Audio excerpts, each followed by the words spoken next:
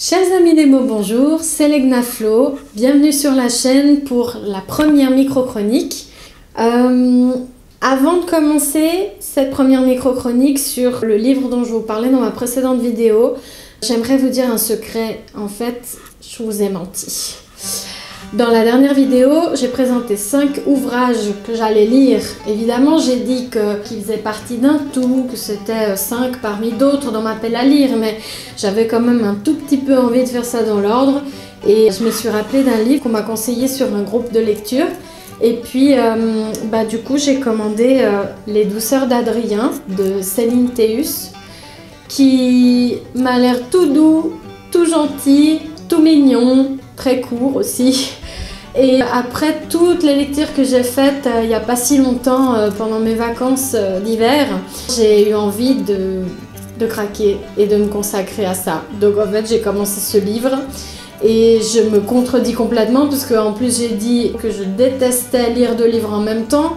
Donc j'ai commencé ma bêta lecture du troisième tome de Caroline Blino et puis j'ai commencé ça donc je ne sais plus qui je suis, je ne sais plus quels sont mes principes je, ne sais plus. Je sais simplement que je me perds dans les gourmandises et dans la tendresse parce que j'en avais besoin et que du coup ben, j'aurais du plaisir à vous faire cette prochaine chronique sur les douceurs d'Adrien de Céline.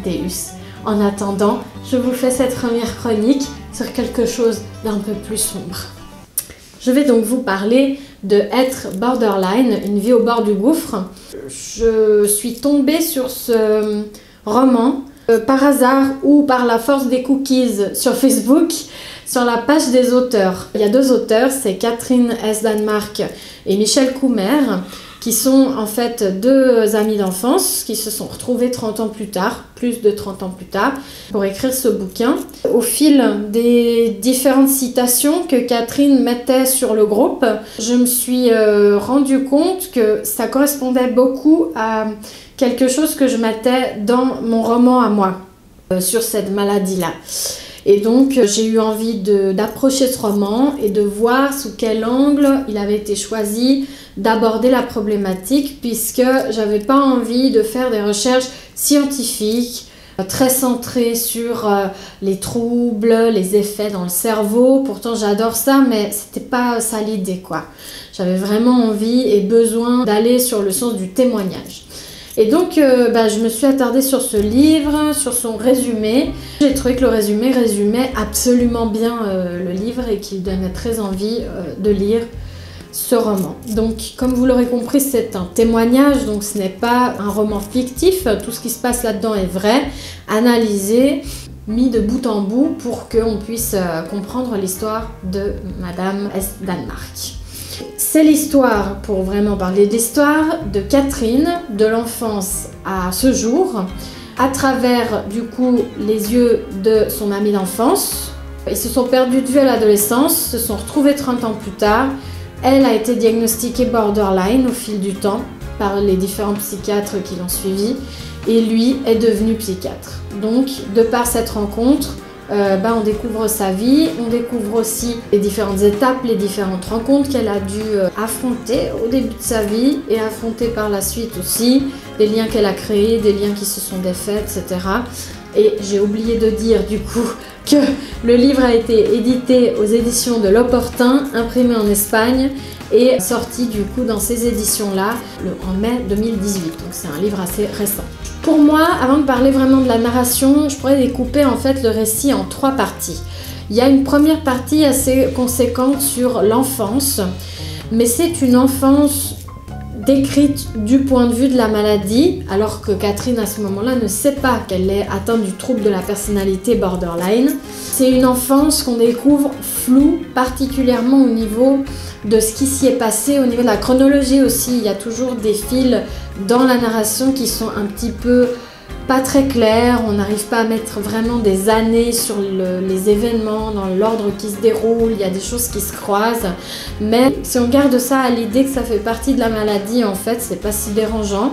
Et puis, bah, du coup, on aborde aussi ce chapitre de l'enfance euh, d'une manière distanciée, c'est-à-dire on va comprendre pourquoi on ne ressent pas spécialement d'empathie à ce moment-là, euh, pourquoi on aurait aimé plus de détails par exemple à ce moment-là, etc. Euh, c'est volontaire au sens de la maladie, si vous voulez. Pas volontaire, évidemment. Catherine n'a pas décidé de décrire son enfance d'une façon un peu froide et abstraite. Euh, c'est déjà les prémices de la maladie et du trouble aussi dépressif qu'elle a depuis vraiment très très longtemps. La deuxième partie, ce serait de son adolescence à ses 30 ans environ, qui est une partie vraiment très mouvementée tant au niveau de son trouble qui se développe, euh, qui se développe avec elle, avec son corps, etc., que justement de ses aventures sexuelles. Plus que des aventures, c'est vraiment l'exposition dans ce livre d'une addiction au sexe cette grosse partie-là, euh, j'en parlerai un petit peu après, mais j'ai eu vraiment de la peine. Euh, c'était une partie très longue à lire, pas forcément très longue en quantité, euh, bien que c'est quand même un certain pavé d'une certaine 500 et quelques pages. Donc c'est quand même difficile de le lire d'un coup de ce point de vue-là, pas comme un roman qu'on pourrait lire toute une journée ou comme ça. Euh, du coup, cette partie adolescence jusqu'aux 30 ans, j'ai eu plus de peine euh, à m'identifier parce qu'on est vraiment dans l'addiction sexuelle, dans la description de ses conquêtes, de ses différentes rencontres, mais d'un point de vue pas encore empathique, puisque l'empathie des borderline au départ est défaillante, il faut apprendre à la développer, à considérer l'autre comme, comme un autre, comme une personne à part entière, ce qui n'est pas le cas dans toute son enfance et dans toute son adolescence jusqu'à environ sa vingtaine d'années comme ça. Et puis, bah, troisième partie, de 30 ans à ce jour, où là, elle a vraiment, bah, déjà, elle a eu des thérapies, différentes euh, aventures qui ont fait que elle a pris du recul sur elle, elle a analysé aussi son propre comportement, qui fait que du coup, on, sent de l'empathie, on sent le vécu, on sent l'analyse, et on peut mieux aborder sa personne et s'attacher à elle et trouver des choses qui nous parlent dans ce qu'elle veut partager avec nous. Donc pour moi, il y a ces trois grosses parties euh, narratives dans l'histoire même de Catherine, et puis il y a la meilleure partie du roman, qui est à peu près, euh, je dirais, euh, aux deux tiers, où là, ben, son ami lui propose de parler de son quotidien de borderline. donc là, on entre en immersion dans quelque chose d'assez fou, mais étonnamment moins fou du coup son récit de vie, en tout cas cette partie adolescence jusqu'à 30 ans. J'ai trouvé, en tout cas moi personnellement, des échos dans ce qu'elle racontait, dans sa sensation de vide, qui est un principe prédominant de ce trouble qu'on ne trouve pas forcément dans les autres euh, maladies psychiques, dans, les autres, dans le fait de ne pas pouvoir se lever, dans le fait de, de, vivre les choses à fond, dans, voilà, dans chaque chose du quotidien qu'elle décrit. C'est une partie assez courte par rapport au reste, mais j'ai trouvé de l'écho là-dedans et je pense que c'est avec cette partie-là que j'ai le mieux accédé à son ressenti. C'est ça qui va nous permettre de toucher vraiment euh, du bout des doigts euh, euh, ce que la personne est, ce qu'elle vit. Donc plus que son récit de vie, c'est cette partie-là qui m'a vraiment marqué qui mérite, à mon sens, d'être lue peut-être même avant de lire tout le, récit parce que cette partie m'a permis de prendre du recul sur tout le récit d'avant. Et tout, tout, tout à la fin, euh, Michel Coumer a rajouté une partie euh, d'analyse euh, sur les différents troubles qu'il a rencontrés et qu'on peut repérer dans le trouble de la personnalité borderline également, mais aussi d'autres maladies. Donc j'ai trouvé cette partie aussi assez intéressante. C'est une analyse plus clinique, plus, plus globale, mais que j'ai bien aimé aussi.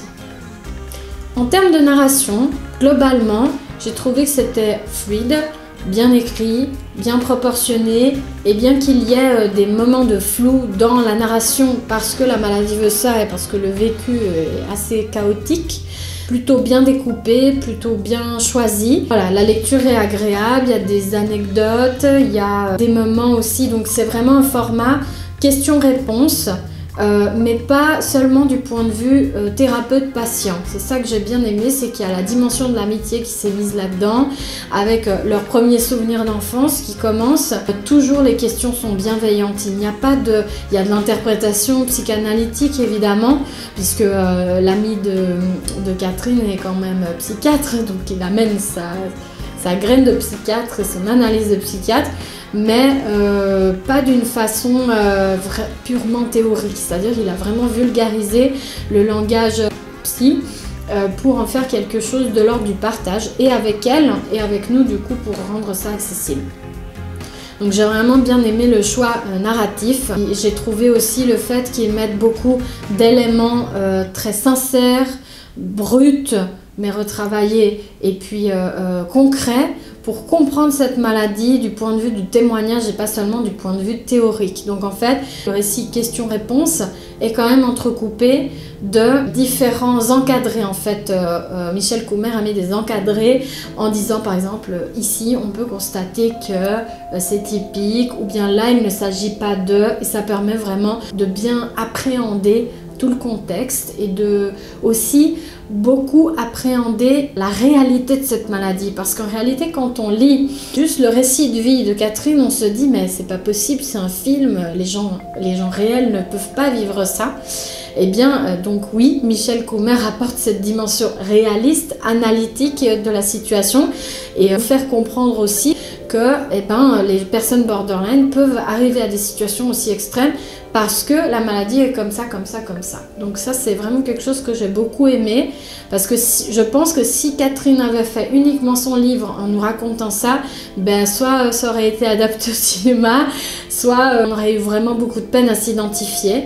Euh, si Michel Coumer avait fait un livre uniquement théorique, ben, du coup, je me serais pas, je pense, attardée dessus et j'aurais pas spécialement eu de l'intérêt, bien que cette maladie m'intrigue quand même ça aurait été purement théorique. Donc de mélanger les deux, c'était un très bon choix et en termes narratifs, je trouvais vraiment très sympa. En termes d'ambiance et d'environnement, donc évidemment on n'est pas dans un roman fictif, on a vraiment, comme je, l'ai dit juste avant, cette partie où on sent qu'il n'y a pas d'empathie en réalité. La personne, c'est pas qu'elle s'attache pas à l'autre, mais elle ne considère pas l'autre comme quelqu'un euh, d'existant, avec sa propre existence. Donc en fait, il y a toute une partie de lien qui n'existe pas. Euh, elle, n'imagine pas qu'elle peut blesser les gens, par exemple. Euh, s'il n'y avait pas effectivement ces petits rappels théoriques, etc. au début, qui sont un peu plus présents d'ailleurs au début qu'après, après, euh, on pourrait facilement oublier que en fait euh, elle est déjà malade à ce moment-là et, euh, et, que bah, du coup ça l'empêche de créer du lien. Donc il y a quand même en termes d'ambiance toute une partie de, de découpage où en fait moi j'ai eu de la peine à m'attacher à Catherine euh, parce que ben, tout simplement on vit pas ce qu'elle vit, on n'a pas vécu, on le vivra jamais, euh, sauf si euh, la maladie nous tombe dessus. Mais... grosso modo, cette ambiance assez étrange du début est très différente du passage adolescent jusqu'à la trentaine et est très différente aussi du passage à la fin. la narration et, l'ambiance et le choix narratif compense la forme un peu chaotique du récit qui empêche de s'immerger à certains moments dans l'histoire de Catherine. Évidemment, on ne peut pas parler de personnages dans ce roman puisque euh, c'est des personnes réelles qu'elle rencontre, c'est une personne réelle, Michel Coumer est quelqu'un de réel. En revanche, c'est vrai que euh, le fait que justement l'ambiance et l'environnement soient un peu altérés par cette maladie, un peu beaucoup même, euh, fait que J'aurais par exemple de la peine, moi, à vous donner plus de deux ou trois noms. Disons, il y a Michel Coumer, il y a Catherine, et puis il y a deux ou trois noms qui reviennent, des personnes qui ont eu plus d'importance que d'autres, notamment le fils de Catherine, dont elle parle beaucoup. Au final, on s'accommode assez sur cette description des choses euh, factuelles euh, plutôt qu'émotionnelles euh, puisque les différentes relations que Catherine a eues sont plus décrites d'une façon passage, passage initiatique, passage de vie, etc., que comme un véritable lien. On parle de fusion à des moments donnés, évidemment, ça revient dans la partie finale du livre. On voit qu'elle décrit les choses avec beaucoup plus d'émotion, beaucoup plus de recul sur elle-même, beaucoup plus de réflexion. Du coup, c'est beaucoup plus facile et c'est là qu'on commence vraiment à se dire, bah, cette femme, en fait, elle est euh, admirable. D'ailleurs, j'ai pu euh, prendre contact euh, avec Michel Coumer et, Catherine S. Danemark sur Facebook à travers leur page, où là, je, les ai, bah, je leur ai partagé ma chronique écrite et en fait, m'ont apporté des précisions, notamment sur le fait qu'ils aient découpé le récit en, en conquête parce que ça correspond en fait à différents aspects de la personnalité de Catherine. Je l'avais pas du tout saisi euh, au moment où j'ai abordé le roman. Et de, voir ça de cette façon-là, bah, ça m'a permis aussi, après coup, de faire un genre d'introspection et de me dire, ah ben voilà, ça avait du sens de faire ça comme ça. J'adore d'ailleurs toujours échanger avec, euh, avec euh, les auteurs parce que ça apporte une dimension supplémentaire au livre. J'ai pas trouvé les personnages hyper intéressants, malheureusement, il n'y en a pas.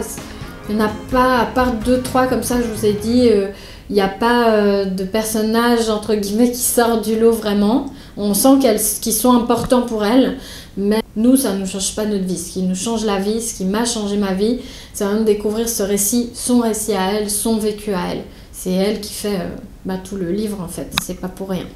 La fin n'est pas vraiment euh, surprenante puisqu'en réalité c'est un témoignage, elle parle d'aujourd'hui, comment elle est. Euh, j'aurais par contre bien aimé qu'ils parlent un petit peu plus de leur lien. Ils en parlent un petit peu de leur rencontre, de comment ils se sont retrouvés. Ils en reparlent un tout petit peu à la fin. Mais j'aurais été curieuse parce qu'au final, euh, euh, Michel Coumer est quelqu'un de très important pour Catherine S. Danemark. C'est un peu celui, même si c'est lui qui, l'interroge, qui, fait l'analyse, c'est un peu celui qui a la moins grande place dans le récit. La fin est très ouverte en fait, donc on ne sait pas ce qui va se passer. Donc, euh, comme toute bonne lectrice, ben, j'ai envie de savoir la suite. J'aurais aimé euh, savoir comment euh, elle allait se débrouiller ensuite, comment, quelles étaient ses perspectives. Bon, ils en parlent un petit peu, mais je sais pas, qu'ils en parlent un petit peu plus aujourd'hui, de comment ça se passe. Peut-être que le quotidien aurait pu être partagé un petit peu plus là, dans cette fin de récit. Du coup, voilà, pour moi, ce livre, il est à aborder si on veut vraiment comprendre cette maladie, qu'on ait des proches touchés, qu'on soit nous-mêmes touchés, qu'on soit simplement intéressé par la maladie. Et j'invite vraiment même des personnes qui travailleraient dans le médical avec cette maladie à aborder ce récit-là, parce plutôt que juste se baser sur euh, euh, la théorie qu'on apprend à l'école ou euh, parce que ça apporte vraiment une dimension personnelle à cette maladie. C'est une personne qu'il y a derrière cette maladie. Elle est atteinte du trouble de la personnalité borderline, mais ça reste, Catherine, ça reste une personne. Surtout avec ce récit, on comprend l'importance que le vide a. C'est de là que tout part en fait, de rien, du néant. Euh, de cette sensation de vide constante qui fait que ben, la personne va se diriger vers des comportements extrêmes pour ne plus ressentir ce vide. Donc c'est vraiment particulier et ça vaut la peine, même s'il y a d'autres maladies qui sont abordées dans ce récit, ça vaut la peine d'aborder ça de ce point de vue-là avec cette maladie-là.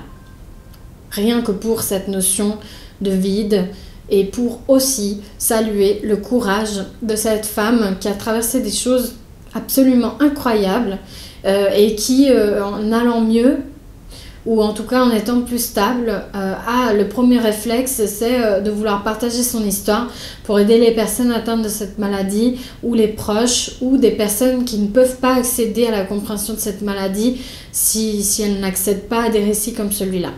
Donc voilà, ce livre a été euh, vraiment important pour moi bien que je n'ai dans mon entourage pas de personnes atteintes de ce trouble de la personnalité, que je n'en sois pas atteinte non plus, mais simplement en tant que passionnée, on va dire, euh, des maladies psychiques, euh, ça m'a permis de, m'ouvrir et je, pourrais être amenée à côtoyer des personnes qui sont atteintes de ce trouble-là et je suis très contente d'avoir du coup abordé la problématique sous cet angle-là. Voilà, c'est la fin de cette vidéo. J'espère qu'elle vous a plu. J'espère qu'elle vous a donné envie de lire ce livre. Si ce n'est pas le cas, vous pouvez toujours tout dire en commentaire. Si c'est le cas, dites-le moi aussi, comme ça, ça m'encourage à continuer. Et puis, eh ben, on va se retrouver dans une prochaine vidéo sur les douceurs d'Adrien de Céline Théus. Donc quelque chose de bien plus léger et ensuite ben, j'entamerai les 5 bouquins que je vous ai présentés à la dernière vidéo. En attendant, ben, je mets tous les liens en barre d'infos comme d'habitude que vous puissiez consulter la page Facebook donc, de Catherine S. Danemark et du docteur euh, Michel Coumer. d'ici à ce qu'on puisse échanger sur cette vidéo ou sur ce livre, eh bien, je vous dis à très bientôt et surtout à bientôt entre nos lignes. Ciao